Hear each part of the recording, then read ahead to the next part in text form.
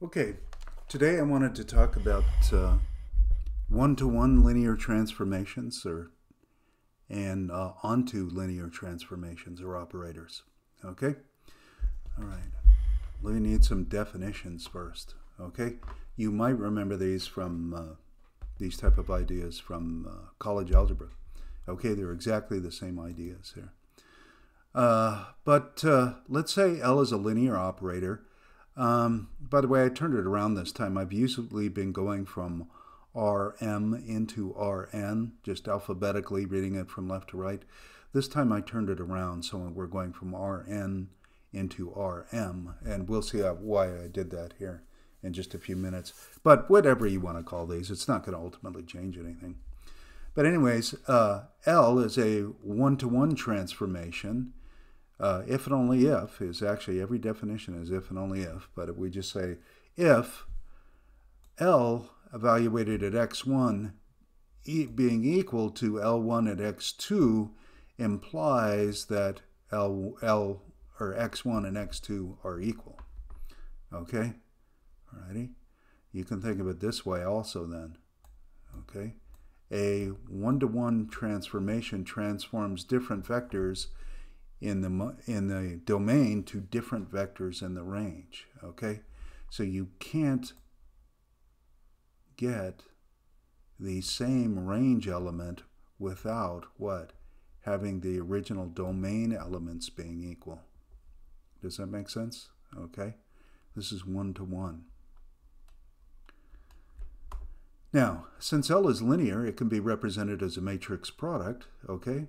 So for, this should have a bar on it, for x bar, element of r to the m, we have r to the n. We have uh, L of x is actually a times x bar for some a element of m by n. Okay? All right? So n vectors go in, m vectors come out. Since the matrix is on the left here, this means it's going to have to have dimensions, what, m by n. Okay? And this is what you're actually used to. This is why I turn these around here. Okay? You're used to thinking of uh, the matrix as having uh, m rows and n columns. So that's why I did it this time. Because I'm actually going to write out the matrix a little bit here. You'll see. Okay? If L is is one to one, okay, here's the lazy man's one to one. Okay, so that just means one to one. Okay? Now, L of x1 being L of x2, okay? The only way that can happen, this is, uh, I'm actually using some symbolic logic here. This is only if and only if.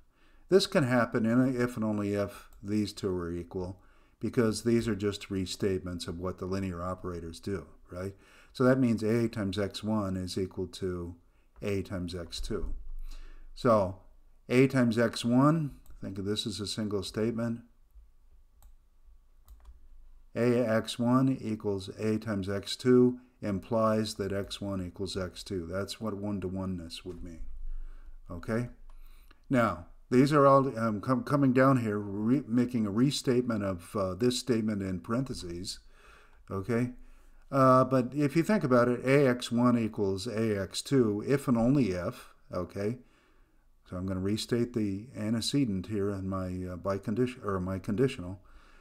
Uh, the only way that these two can be equal is if their difference is the zero vector, right? And the same thing over here on this side. So this is just a restatement also. So here's a restatement of one-to-oneness. Okay? But we know that what a matrix product is uh, is distributive, so I can actually use the distributive property sort of backwards here and factor out the a. So this would be what? a times x1 minus x2 is the zero vector implies x1 minus x2 is the zero vector. Okay, now I've just renamed the x1 minus x2. I'll just call that vector x. Let's make a restatement here. Okay, a times x equals 0 implies x equals 0. So this is a restatement of one-to-oneness. A times x bar equals 0 bar implies that x has to be 0 bar. Okay? So we could actually say this is if and only if, since what? I made this quick comment here, since a times 0 equals 0 anyway.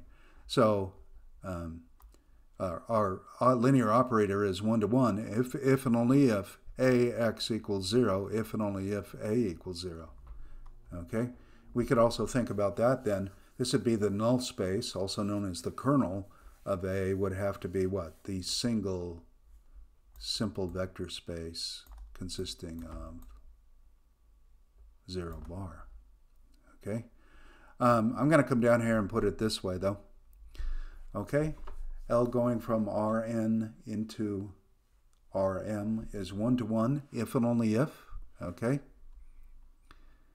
L of uh, x bar is 0 bar implies x equals 0 bar. Okay? Alrighty. This is not implies, by the way. That's just a mapping, right? Okay, already. This is the way we could do it. Now we're going to consider this just a little bit more here. Consider the, the matrix uh, A, which is real, right? M by N, representing the linear one-to-one -one transformation L okay? And this matrix equation, A x bar equals 0 bar, okay? That's saying the same thing as this, right? Okay. In the row-reduced echelon form of the augmented system, so think of this as an augmented system now, we must have the rank of A being equal to n be equal to the number of columns in order to have a unique solution, okay? So in the row-reduced echelon form, so there's m rows and n columns, to get a unique solution to this uh, equation right there, we would have to have what? The, the rank is equal to the number of columns. If it was uh, what uh, the rank was less than that, you know, if I had a, okay, I hope you can see this here. This is row-reduced echelon form. You see how I'm getting a unique solution here? Okay if I had, you know, like a 1 or something in front of this, so the, what, the rank was less than n, you see how we get uh, more than one solution here? I would get infinitely many solutions, uh, actually, okay, if I had something in there like 1. But no, if I've got zeros in here, and I've got the rank being equal to n, that's the only way I'm going to get, what, a unique solution. So I have another way of characterizing one-to-oneness, Okay, so L mapping Rn into Rm is 1 to 1 if and only if the rank of A is equal to n. Okay, so the rank has to equal n. Okay, the number of columns are this guy. All right, that's one-to-oneness. Okay. Let's talk about a new definition here. This is a different concept. Okay, I'm still mapping uh, Rn into Rm. I'm saying it's an onto mapping. Okay? If for every y in the codomain here, in other words, of r to the m, there exists some value x, at least one. Okay, it's not saying it's unique or anything. There exists some value in the domain such that what? L of x bar equals y bar. Okay? So in other words, this is saying that R to the M is actually the range of this. So you're not just mapping into R to the M, you're mapping onto R to the M. Okay? So if I take any Y bar in that codomain, it's actually a range element. There's some value of X that actually maps onto that thing. Okay? That's what that's saying here. Okay? Okay, so the range is all of Rm for this particular function, transformation, operator, whatever term you like to use. Okay? Okay, once again, I'm going to just have A being what the uh, matrix of this linear transformation. This is going to be onto this time, though. Okay?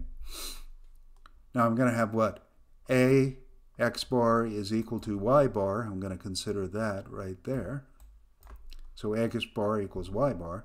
It must have a solution x bar for each y. Okay, that's what you would need for onto, on, ontoness. Okay, some people call that a surjection, by the way. Okay, oh, by the way, one-to-oneness is sometimes called an injection. This is sometimes called surjection, okay, or, or surjective mapping. Okay, you don't need to know all those fancy terms. But anyway, all right. Now, what I'm going to do then, so we have this equation here. Now, y is supposed to be absolutely arbitrary, right? Okay, freely chosen. Okay. If we consider the augmented matrix of this system, okay, remember this has what, uh, m rows and n columns again. And let's consider that in terms of its row-reduced echelon form. If the rank of M of A was less than the what the number of rows, then there exists Y values for which there is no corresponding X. Okay? Suppose, do you see what I mean? Suppose if I have the, the rank being less than the number of rows here, then I could do what? When I get row reduced to echelon form, I could what? I could get a bunch of zeros here. Now remember, this side is, is freely chosen. Okay, the, the this is arbitrary y here. Okay. I could easily conceive of a y for which what? Even after the row-reduced echelon form here, this is what? Non-zero. Well, that would be a contradiction. It would be saying 0 is non is a non-zero value. Okay? Well, that's not possible. Okay? So what's going to have to happen? Well, certainly the rank can't be greater than the number of rows here. So the rank has to be what? Has to be equal to m. Okay? And if you think about it, so if the rank is actually equal to m, so this kind of situation can't happen here. If the rank is equal to m, then we will actually what? Have a unique solution. Okay? Well, not necessarily a unique solution, but we'll have what? A solution for every single y. Does that make sense? Okay? All right. Thus, if I'm mapping from Rn into Rm, it's going to be onto if and only if the rank of A is equal to what? M. So now to get on, to, so to get one-to-oneness, we need what? The rank to be N. To get onto-ness, or to make it a surjection, we need what? The rank to be M. Okay, so you want to remember that. Now, this one last situation I want to talk about is sometimes called a bijection or a bijective situation. Okay, how about this situation in which I'm mapping uh, Rn into Rm, but I want it to be what? One to one and onto. Okay, I want it to be both. This is what we call a bijection, one-to-one onto mapping. That's a one-to-one -one correspondence between the elements of the domain and range, if you remember this concept from uh, college algebra. Well, from what we've discovered above, uh, first of all, we would have to have what? We would have to have the rank of A being equal to n to get one-to-oneness, and we'd have to have the rank A of being what? m to get uh, ontoness, okay? Or in other words, to be injective here and to be surjective here, okay? Well, how could that happen? How could the rank of A be N and M at the same time? Well, first of all, you would have to have what? M and N be equal. And what? You would have to have the rank of N, of A being N, or M, uh, since they're the same, call it what you want. Okay? But you, thus we have the following situation. L going from Rn into Rn is one to one and onto, so onto Rn, if and only if what? The rank of A is equal to N. Okay, so this is a statement of what we've discovered just above. Okay, I've decided to write everything in terms of N instead of M. Okay? Alrighty? One to one and on to if and only if the rank of A is equal to n. But notice that the matrix A would have to be what? n by n, right? It would have to be an n by n matrix. If I have a matrix, an n by n matrix with a rank of, that's also equal to n, what do you know about that matrix? It would have to be invertible. Okay?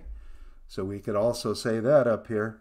L going from Rn into R to the n is 1 to 1 and onto if and only if what? A is invertible. A being the matrix associated with a linear operator.